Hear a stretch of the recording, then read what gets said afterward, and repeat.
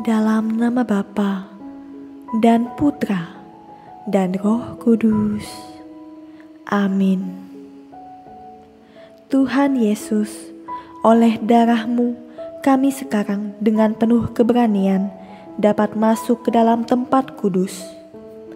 Karena engkau telah membuka jalan yang baru dan yang hidup bagi kami melalui tahir, yaitu dirimu sendiri oleh sebab itu, kami menghadap Allah dengan hati yang tulus ikhlas dan keyakinan iman yang teguh, oleh karena hati kami telah dibersihkan dari hati nurani yang jahat, dan tubuh kami telah dibasuh dengan air yang murni.